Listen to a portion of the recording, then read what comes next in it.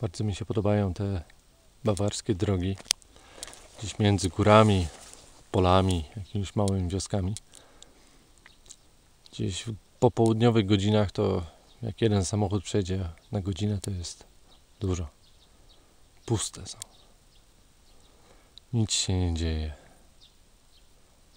Wokół tylko ptaki, lasy, pola.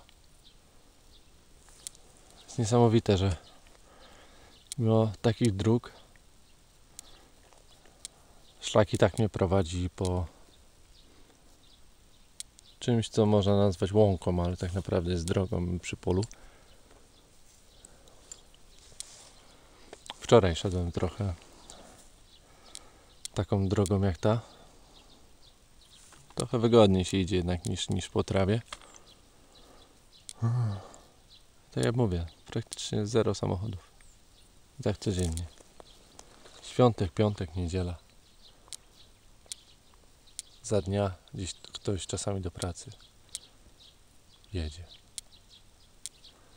Tak to cicho. Można grać w piłkę. O ile byłby ktoś w okolicy w ogóle.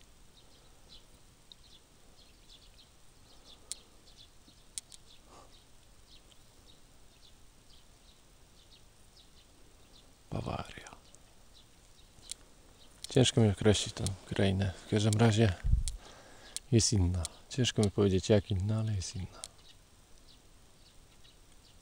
Dużo przestrzeni jest. Mimo, że wioski są niedaleko siebie, to każda jest między gdzieś w jakiejś dolinie, między jakimiś tymi małymi górkami, między polami. Kukurydzy, pszenicy czy żyta, czy jęczmienia. Dużo łąk jest.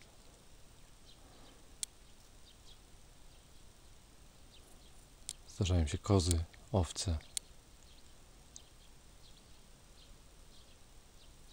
Cisza i spokój.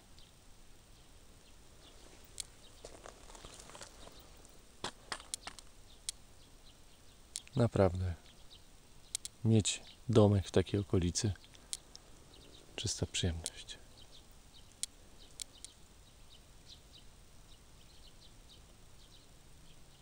Nic się nie dzieje.